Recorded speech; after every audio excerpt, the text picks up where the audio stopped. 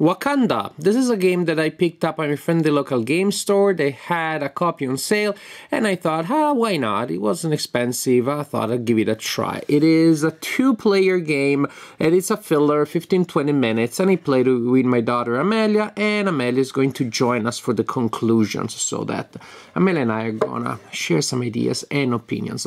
This is a game for two players only. It has very good production values. In this game, we're gonna build a total totem poles. Each player receives a set of three of three heads, and the totem pole that has your head on at the end of the game is a totem pole that you get to score. Also, we have these tiles here, which are the places where we will place our will place our uh, totem poles there in those circles. And also each will have an indication of the things of the symbols that will score. Now in the standard game you will place three tiles that are already available at the beginning of the game, meaning that the three tiles are visible but not available yet. The way Amelia and I play it, which is a variant recommended in the book or suggested in the book, is with the tiles that are not available yet, not visible. And so you don't know exactly what you're going to get next, which is kind of important. Then we have a bag that contains these totem pole sections that you can stack one on top of the other. Totally totally impressive production values. Each has symbols on them. As you can see, they're really attractive and very functional. They stack easily and then actually they also come apart easily. Really nice. So, gameplay is really super simple. At the beginning of your turn, you simply draw a section of a pole from, from the bag. Oh, I got a tent. And then you can choose uh, either to place it or to save it and to place one of your totem pole heads on one of the existing totem poles. So that is not an available option at the beginning and suppose that. So it's my turn, I do this, next player does this, following player does that, next player does this, and then this, etc, etc. At some point somebody will want to take the option of of actually taking a pole, in which case the player, after drawing, after drawing their section, instead of placing that uh, that section that was drawn, takes one of their heads and places it there. So basically, you always draw one, and then you place something on the board, either a section or a head. Once a head is placed, uh, you make the next uh, um, the next terrain tile available in case you're playing the secret variant, you also flip it face up. So now we know what's going to score. Ooh, tens are going to score. That's interesting. Now, an effect of, of the mechanic that I told you, the flow, that is you always draw one and then you place something, is that at the beginning of the game you're stuck with placing whatever it is that you drew from the back. After you place the first uh, head, you will have one left there. So now I draw one and I can choose which one I want to get and say my opponent does this. Then we reveal this one and we continue like this. So by placing by placing um, by placing heads, you get then more more variety, more a little bit of a pool of available components that you can choose where to place. So the game continues like this until all sections of the that are in the bag have been drawn and placed or until all heads have been placed. After that, when that happens, you get to score. Hooray.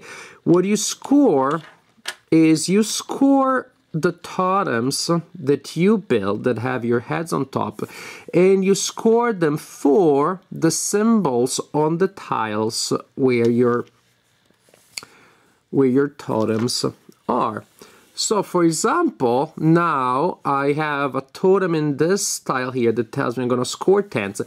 So each 10 that I have on any of my poles is worth 2 points. I see one here, one here, one here, so that is three tenths. I'm going to score six points because of that. This one means that each sun is going to score me one point. I see one here and one here. That's only two points, not too good. However, the suns is a special symbol because the player that does not control the sun tile loses a point for each sun that they have. It may be that the sun tile is not in play at all. In fact, not all tiles are used every game, in which case suns are just bad for everybody. This is for variety. Then I'm going to score two points for each different type of symbol that I have. And then I simply count, okay, suns, skins, tents, uh, uh, the eagle, and that seems to be, there's another animal skin, that seems to be all that I have. So that's how you score things. Uh, mainly, it's by specific symbols. The eagle, there's only one, but that one alone is worth 8 points. Animal skin is worth 3. This mask here is worth 5. We have the tile for variety. We have the tile for the tomahawk. And then we have the tile for the highest pole. The highest totem, if you have a totem here, then you get to score the highest totem pole in your collection and you get to score two points for each section in it.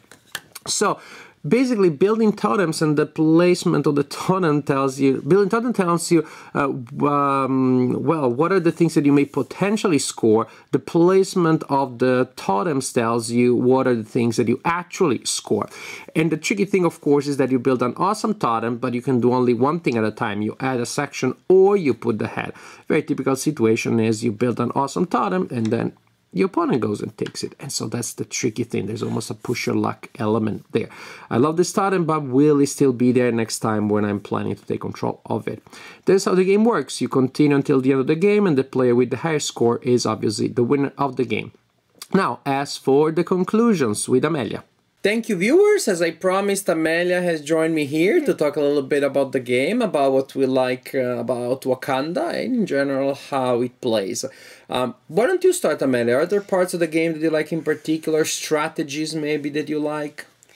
Yes, I like that there's a bag and there are pieces of poles. So I take a I take a piece, um, there are three face up, and I look um if there's the eagle, that one is eight points mm-hmm. if you have it. So, um, if I I usually draw the eagle like late in the game. Yeah, but just just happens that way. The eagle yeah. may come out earlier, but. So let's say that um the eagle is one of the tiles, and I fish it out, and it there's already a pole. Um, let's say the dad went first. There's already um a piece down, and it's a good piece on a good on the same. Uh, so it's tents then there's a tent. I can claim that. And then that for that trip, so I've already drawn my eagle. So right now it's mine. So I I topped that um, tent. So now all the other tents that I top um, will be two points because that's how mm-hmm. much the tents top um, are. Yeah, an important thing is that once you top one, then you're allowed to save the eagle. Otherwise, if you get the eagle, you have to play it. At the beginning, whatever you draw, you have to put it down. What you like to do is to save the eagle until when? Until you've used up all your toppers. Or if it comes out later in the game, always save the eagle because it might be later in the game. Unless the other person's already topped the eagle. Yeah, yeah. But by, by saving the eagle, she makes sure that uh, I have spent all of my tops, and then at that point she can play both the eagle and after that, and after that the the top. Uh, however, also if the that... eagle isn't in the tile, you yeah. can always use variety or height to use that eagle. Yes, variety or height, exactly. The eagle can contribute also to score for variety or for height. And actually, since the eagle is only one, that is very good to have for variety because yeah, it increases that. There's those. only one eagle in the game. So, however, what I also like about the game is that this is a good strategy, but there are just so many other very simple, very basic, but very interesting strategies. Because if one just thinks about one strategy, um, one may not win because if you score the eagle but you don't score anything else, that's not good enough, right? But it's what you said. You know, you're trying to you save the eagle, but you're looking at the tens, uh, but you're looking at other things like variety and height. So that there just it's a very simple game, but there are just a lot of little things to do that, that keep me keep me entertained. How about you? Do you find yourself entertained, challenged uh, when you play the game? Also, it's really exciting to know, um, like if you made a pole with like all of this um tents, and then later in the game, oh my God, there's no the, the tent is not in those six tiles. There are six tiles, but there are eight in all. And so you shuffle them and you take out two. Okay, yes, yes. Uh, mm-hmm Yes, because uh, we play the variant that uh, the tiles you start with some of the tiles that you that you will score face down. So at the beginning you don't know what is going to mm. score exactly. And as Amelia said, ooh, I really want to make this ball, which is going to be worth a ton of points. And I'm like, ooh, I want to get that from Amelia because that's so delicious. But then And- it isn't even in the game. and then it's not even in the game. So at the beginning, you may try to gamble a little bit and to and to make some poles that will be very valuable if they get to score at all for this or that trait. Or you may try to keep a little bit of variety. Uh, you know, some tents here, some masks there, and then depending on what you get. Maybe the other person will get it because there is this this thing that is really tricky, right, Amanda? That you place the piece that makes that pole really what you wanted it to be, but then you need to wait until your turn to take control of it because the opponent may take control of it. Like, so, oh, you finish the pole as it should be, and I take control of it. The first time you didn't like that idea all that much, until of course I made an awesome pole and you took it, and then you realize that you know there's it works both ways, and that's and that's kind of cool. Also, watch out for the suns because mm-hmm. whoever does not have the suns, if it's not even in the game, you still have to. Someone will claim a pole with the suns. The person who does not have the the thing of the suns minus one point for each sun that they have. So if it's not in the game, watch out for the suns unless you've already claimed them. Yeah, but then if the sun is not in the game, just pile them up and do the sun like a really tall pole, and then boop, then you score maybe that for height. So the fact that the scoring varies, and especially the way we play, uh, you don't know exactly what's gonna score, really brings some excitement. I mean, it's and it's a simple, quick game. We play like around bedtime. It's not one of those games. Uh, that is too exciting. It's fun, but it's sort of relaxing. It looks beautiful. I think it's perfect for bedtime, like before going to bed. You know, there are other games that we should not play because of that about like speed and reaction and slapping cards, etc. No, the- Wakanda is a perfect two-player bedtime bedtime game. I love to play it with Amelia. I only played it with Amelia. Uh, I haven't played it with adults yet, and maybe I will as a simple filler, as a simple filler for something that we played together. I really enjoyed it. I mean, I enjoyed every game that you and I played together.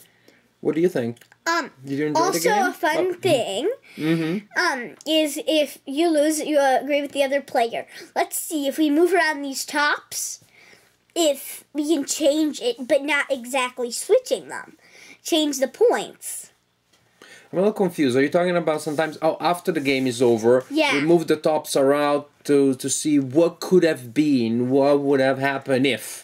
Yeah, and that's an, another way of also you can switch around the little pieces of the pole Yeah. So basically, we play by switching pieces around, which is another way of uh, studying strategy and counting numbers because then we get to count the different scores over and over again. And you know, when you're playing with a young person that is really getting good at math, that is all extra extra work that is that is fun to do. So in general, do you like this game or not? Yes Would you like recommend it to players out there that are looking for a simple two-player strategy game? yes Yes, me too. It is very light. It is very light. It's very simple, but definitely as a filler, as a small simple filler, a really fun game.